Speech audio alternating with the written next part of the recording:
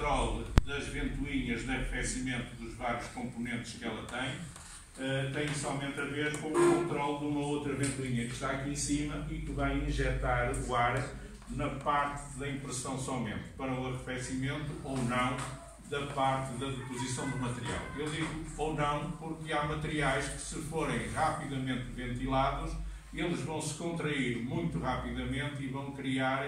uh, chamemos-lhe assim, o efeito Watt, que é um efeito de, de empenamento, ele empena na própria mesa e vai descolar ou vai inclusivamente descolar as camadas dentro do próprio objeto. Tem que ter muita atenção porque todos os materiais são muito diferentes uns dos outros a nível de trabalho.